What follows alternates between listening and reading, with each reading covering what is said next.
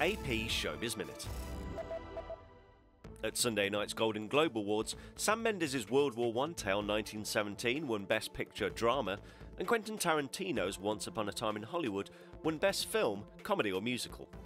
1917 also saw a Best Director win for Mendes, while Brad Pitt was named Best Supporting Actor for his work in Once Upon a Time in Hollywood.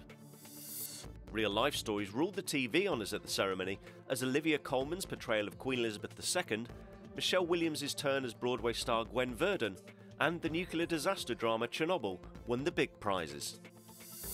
On the red carpet, Charlize Theron, Kerry Washington, and Gugu Mbatha-Raw led the fashion risk takers, while Nicole Kidman, Reese Witherspoon, and Cynthia Erivo topped the list for many for more classic looks on one of the biggest red carpets of the awards season.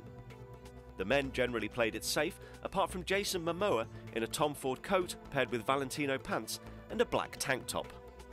This is Matt Kemp with AP Showbiz Minute.